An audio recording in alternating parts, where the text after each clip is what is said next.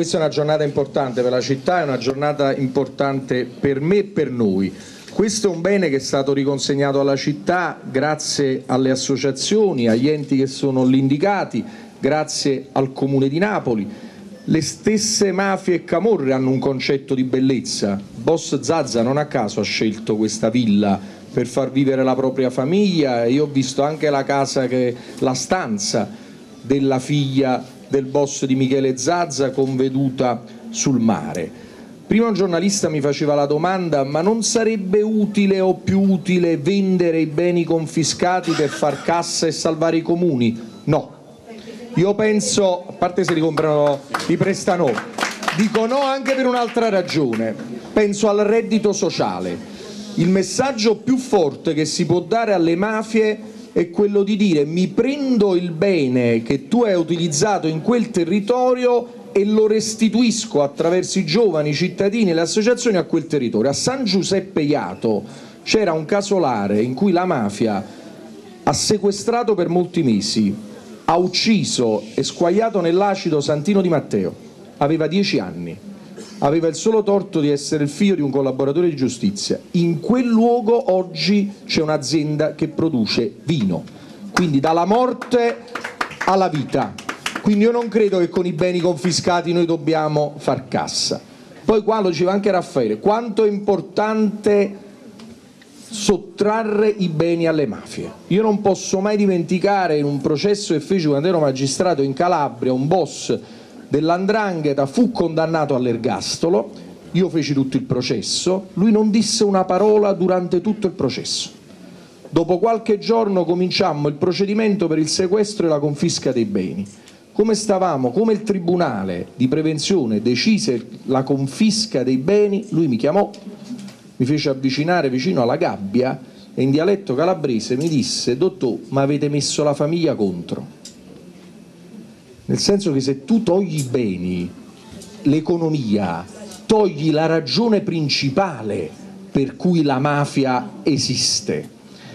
E vorrei dire altre due cose. Don Peppe Diana 20 anni un prete che viene ammazzato, le parole pesanti, forti, che vanno al cuore sono più importanti delle manette, perché le forze dell'ordine e la magistratura fanno un lavoro straordinario, li saluto, sono qua davanti a me, ma ne arresti 100, ce ne sono 300 se non fai quella rivoluzione culturale di cui parlava Giovanni Falcone, se non ci sono scrittori che raccontano, se non ci sono preti che fanno gli scout e che non fanno altro che non è che tra i preti ci sono tutti i santi, le persone buone stanno tra i preti, ci stanno tra i magistrati e tra l'altro sono persone cattive.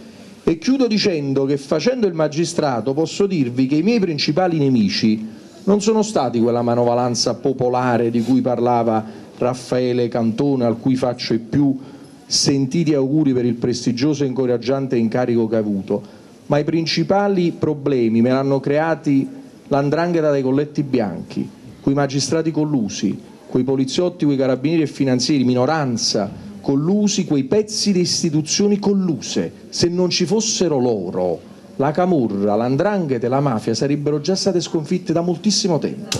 E quindi ha ragione la professoressa quando dice non lasciate sole, guardate perché la solitudine è propria del magistrato perché il magistrato prende decisioni difficili da solo e le deve prendere da solo e non deve cercare il consenso popolare, ma se il magistrato rimane isolato muore. E attenzione che la morte oggi non è solo quella fisica, perché le mafie oggi sono più raffinate.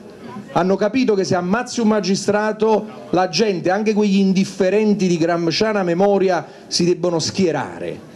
Oggi li ammazzano con la carta da bollo, con le calunnie, con la violenza morale, con i trasferimenti, i sacerdoti coraggiosi che vengono trasferiti, i carabinieri, i poliziotti e finanzieri coraggiosi trasferiti, i magistrati trasferiti, la gente non sa niente, perché la propaganda di regime ti costruisce la necessità di quel trasferimento. Allora aprite gli occhi, guardate anche oltre le paludate veline di mass media spesso controllati andate al cuore delle cose, perché la gente sa e capisce e i nemici più pericolosi sono quelli che si vestono come noi, come sono io oggi vestito perché ho un incontro istituzionale importante, altrimenti spesso mi metto anche senza giacca e cravatta, che si vestono meglio di noi, che hanno i figli che vanno alla Luis, alla Bocconi, magari non vanno nelle scuole pubbliche.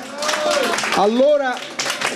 vi chiedo, fatela e chiudo, ma ci tenevo a esserci, fatela quotidianamente quella rivoluzione morale e culturale e soprattutto voi giovani a cui Calamandrei si rivolse quando disse la nostra amata Costituzione repubblicana vivrà fin quando ci saranno giovani che la vorranno far vivere.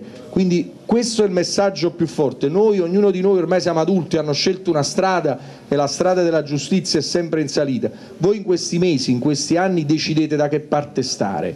Bisogna schierarsi e se ti schieri dalle parti delle mafie la strada non è in discesa. Io lo dico sempre ai miei figli e chiudo su questo, ricordo quando io cercavo, quando stavo in Calabria, i momenti più difficili di nascondere, tra virgolette, a mio figlio che aveva sei anni, i pericoli.